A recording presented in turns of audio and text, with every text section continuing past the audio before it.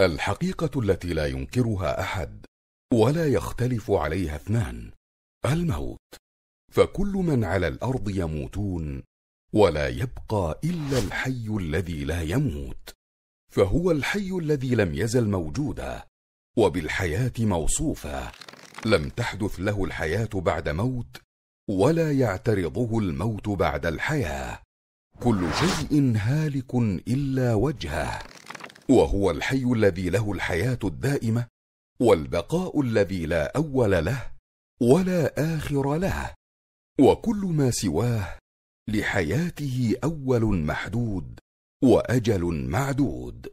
وهو الحي الذي له جميع معاني الحياة الكاملة من السمع والبصر والقدرة والإرادة وغيرها من الصفات الذاتية. قال ابن القيم وحياته سبحانه أكمل الحياة وأتمها وهي حياة تستلزم جميع صفات الكمال وتنفي أضدادها من جميع الوجوه.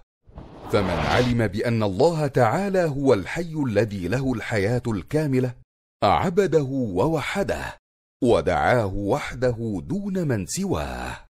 قال تعالى هو الحي لا إله إلا هو فادعوه مخلصين له الدين.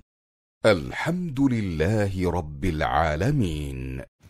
ومن علم بأن الله هو الحي لجأ إليه واستغاث به. قال النبي صلى الله عليه وسلم وهو يوصي ابنته فاطمة رضي الله عنها ما يمنعك أن تسمعي ما أوصيك به أن تقولي إذا أصبحت وإذا أمسيت يا حي يا قيوم برحمتك أستغيث أصلح لي شأني كله ولا تكلني إلى نفسي طرفة عين.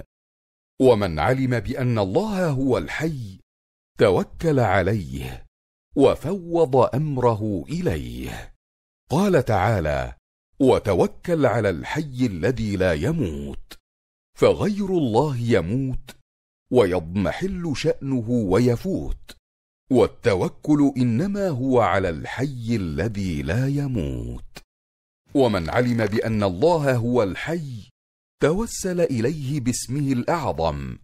عن القاسم أبي عبد الرحمن عن أبي أمامة عن النبي صلى الله عليه وسلم قال إن اسم الله الأعظم في ثلاث سور من القرآن في سورة البقرة وآل عمران وطه. ومن علم بأن الله هو الحي زهد في الدنيا وأقبل على الآخرة.